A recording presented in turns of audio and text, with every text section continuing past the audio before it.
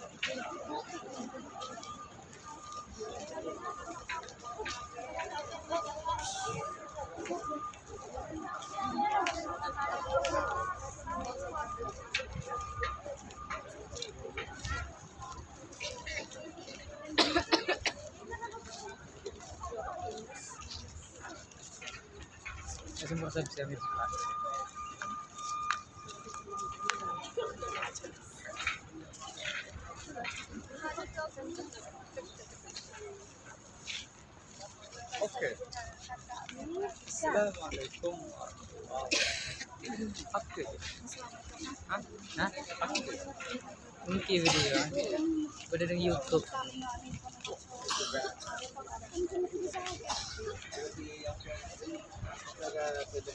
Thank you. Tempat lahir akan. Kira nggak ada itu, nggak.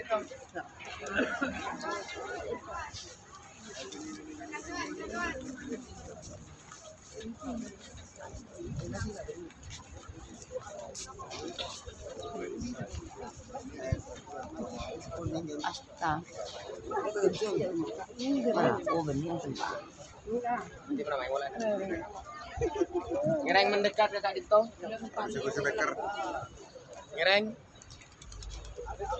Kamu murah ya? Ano ro?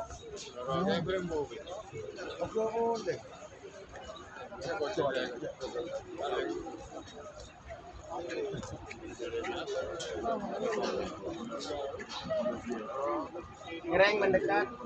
Assalamualaikum warahmatullahi taala wabarakatuh. Bismillah, Alhamdulillah, wassalatu wassalamu ala rasulillah Sayyidina wa nabiyina Muhammad ibn Abdullah Wa ala alihi wa wabarakatuh Kita semakin berada ning eh, sebelah daripada Maulidur Rasul Kita saat ini ada di sebelah Maulidur Rasul Maulidur Rasul Kak Dinto adalah tempat dilahirkannya Gusti Kanjeng Nabi. Tempatnya ada di bangunan yang kuning Kak Dinto. Kak Dinto. Kak Dinto adalah tempat lahirnya Gusti Kanjeng Nabi. Tapi bukan seperti ini tempatnya dulu. Dulu hanya rumah biasa, rumah Arab kuno, tumpuk, uh, tumpuan batu, saya eh, dan disusun jadi sebuah rumah dan kecil rumahnya. Pada saat itu Rasulullah lahir ning ebek tersebut. Gusti Kanjeng Nabi dilahirkan di tempat ini. Uh, pada saat itu ning waktu waktu subuh Gusti Kanjeng Nabi lahir dan Sayyidina Abdul Muthalib kakek daripada Gusti Kanjeng Nabi sedang ada di samping Ka'bah waktu itu perapaan berdading samping Ka'bah. Kemudian sesuai kalaban riwayat bahwasanya alam atau be uh, kabedaan ning langit saya perapaan petang. Kak Dinto langsung terak langsung terang benderang. Jadi pada saat itu uh, semua langit bergemuruh. Uh, Fahtazal arsyu taraba wastibsyara jadi uh, aras itu berguncang pada saat itu semua berzikir melantunkan tasbih, melantunkan melantunkan tahmid kepada Gusti Allah menunggu kelahiran Gusti Kanjeng Nabi. Fahtazal arsyu tarba wastibsyara wasdadal kursi haibata wa waqara. Kursi waktu itu semakin menampakkan kewibawaannya. Kursi ini kan benih kursi-kursi bukan kursi yang kita duduki sekarang, melainkan kursi ini adalah sebuah uh, tempat yang ada di atas langit ketujuh Wamtalaati samawatu anwaro dan langit pada waktu itu uh, penuh dengan cahaya. Jadi waktu Gusti Kanjeng Nabi akan lahir, tanda-tandanya waktu itu langit bercahaya.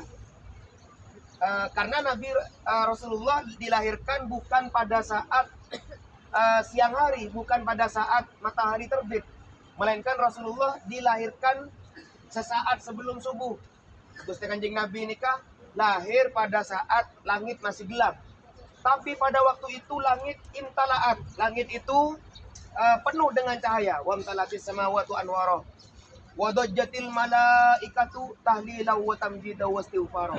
Kemudian malaikat pada saat itu itu bergemuruh di langit uh, membaca tahlil, membaca la ilaha illallah, membaca tahmid, membaca istighfar.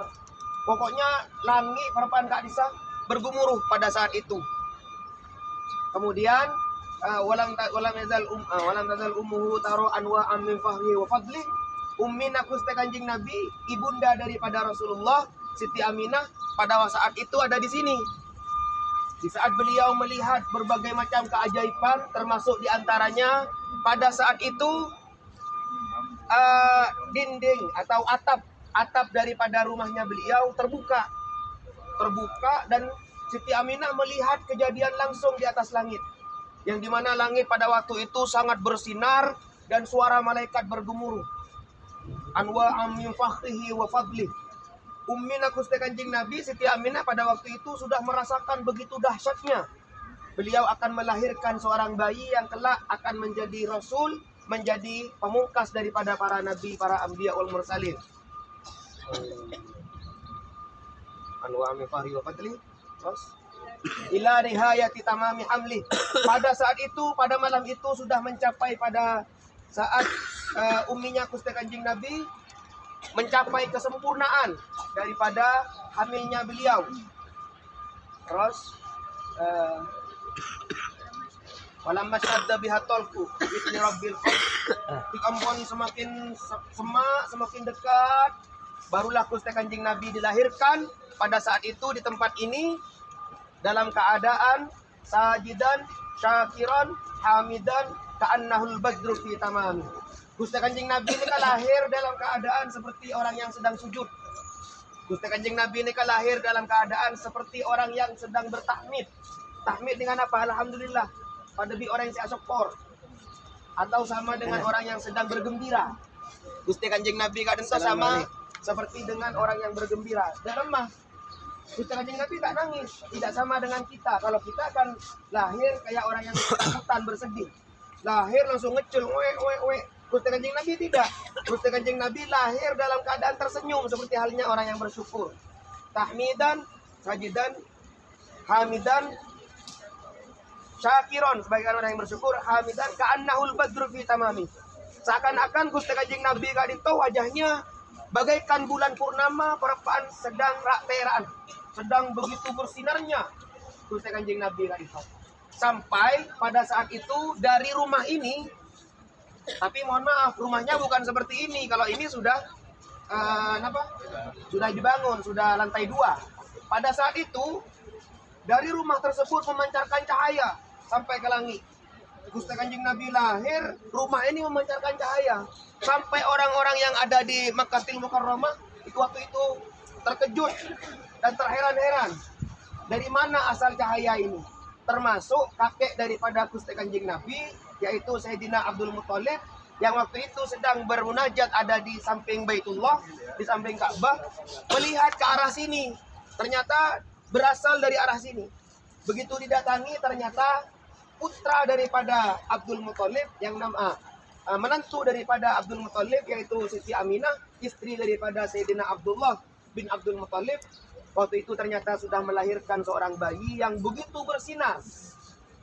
Dalam sejarahnya, Gusti Kanjeng Nabi waktu itu diambil bayinya oleh Sayyidina Abdul Muthalib dan kemudian dibawalah ke Baitullah, dibawa ke Ka'bah waktu itu. Jadi bayinya beliau dibawa samping ke Ka'bah.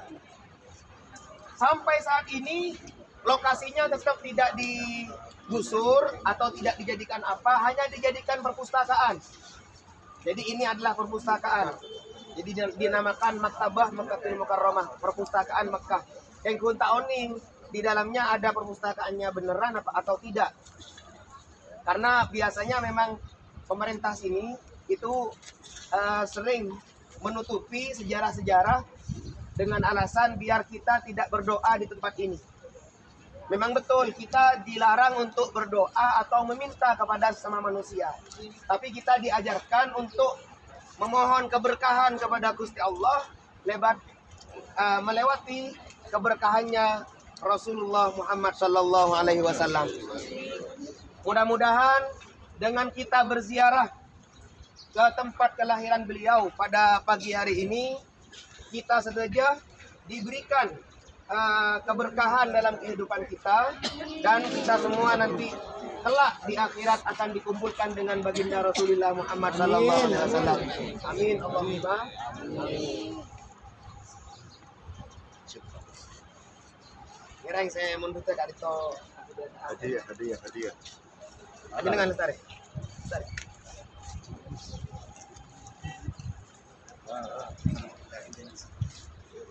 Ya, eh, Surabaya. Boleh boleh. Foto teman. Kira gampang nggak ada majana nggak gratis. Kira.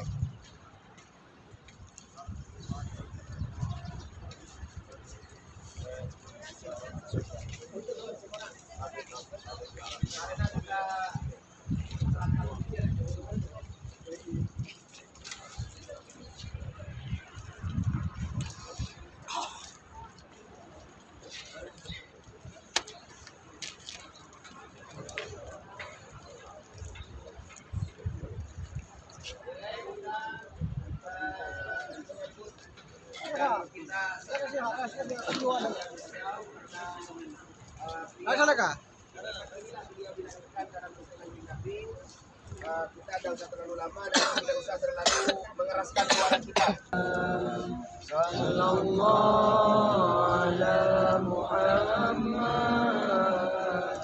Sallallahu alaihi wasallam Ya Nabi salam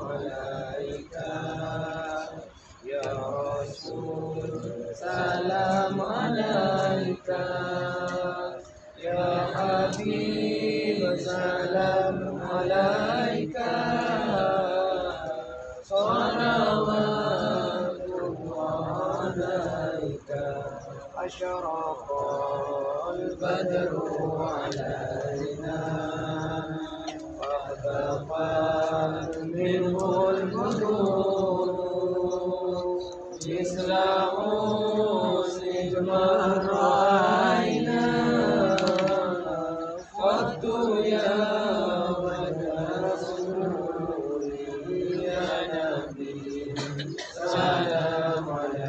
عليك